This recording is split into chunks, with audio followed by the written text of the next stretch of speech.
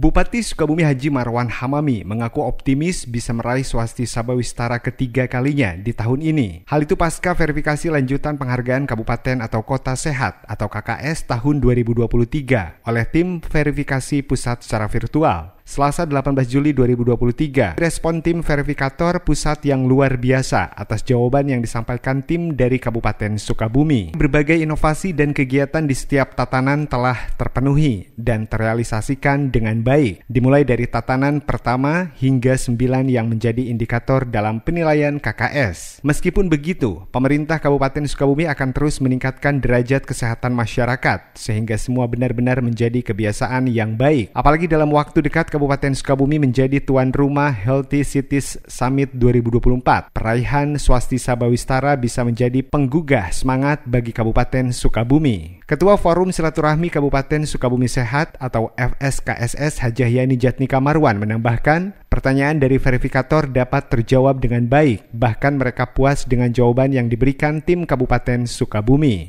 Demikian informasi disampaikan Dinas Komunikasi Informatika dan Persandian Kabupaten Sukabumi.